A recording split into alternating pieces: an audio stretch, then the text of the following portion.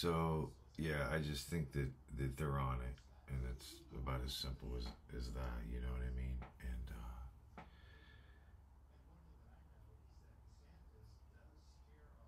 but we're in for a fight, folks. We're in for a serious fight, man. They're they're gonna they're gonna dog whistle and trigger every little blank check that they got out there because boy they they've done they've done quite a psychological operation on the electorate wouldn't you say?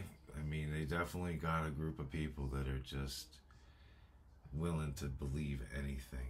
And and um, even even in the face of like some really cool shit they're like no no no we want we want the fake shit. Okay so.